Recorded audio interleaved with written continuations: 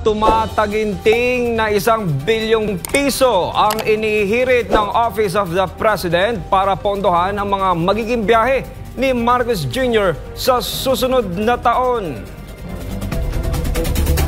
Ayon sa mga Department of Budget and Management, ito ang nirequest na budget ng tanggapan ni Marcos Jr. para sa mga domestic at international trips niya para sa 2025. Kung tutuusin nga raw, mas mababa ng 94 million pesos ang hirit na budget para sa mga biyahe ni Marcos Jr. sa susunod na taon kumpara ngayong taon.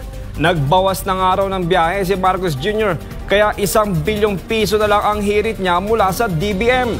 Makailang beses nang pinupuna ang palagi ang pagbiyahe ni Marcos Jr. lalo na abroad dahil wala naman daw itong naiuuwing investments sa bansa.